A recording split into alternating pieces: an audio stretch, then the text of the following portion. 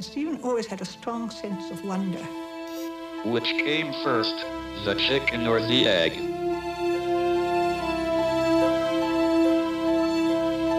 Did the universe have a beginning? And if so, what happened before then?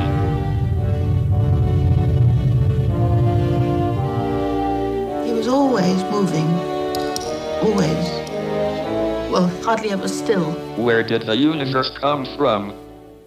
And where is it going? Born 300 years to the day after the death of Galileo, Stephen Hawking now occupies the physics chair once held by Sir Isaac Newton. From the Big Bang to black holes, his mind has ventured where no mind has gone before. His book has sold nearly 6 million copies, one for every 900 people on the face of the earth. It has changed the way we understand our universe. How real is time? Will it ever come to an end?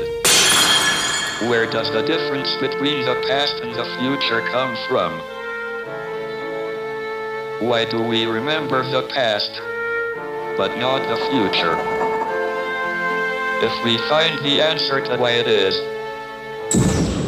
that we and the universe exist,